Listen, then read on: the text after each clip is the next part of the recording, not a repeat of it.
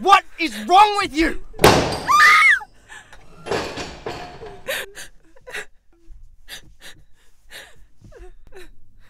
I remember how difficult it was to feel so powerless.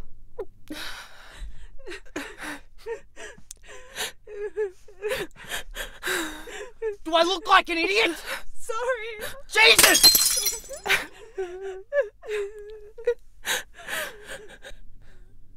I wanted to believe it wasn't that it wasn't a bad thing. Alright, give me your phone. Please. Give me your phone! Please don't. Please.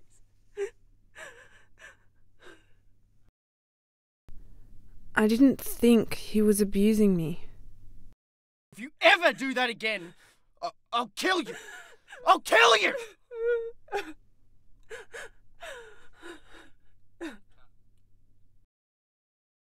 I thought he was a deeply troubled man and I was the only one in the world who could help him.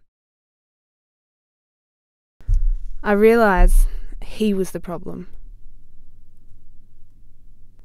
I told everyone I knew that he was hitting me. And then I left him. No matter how impossible it seems, you can create a new life for yourself. Just hold on to the belief that it is possible.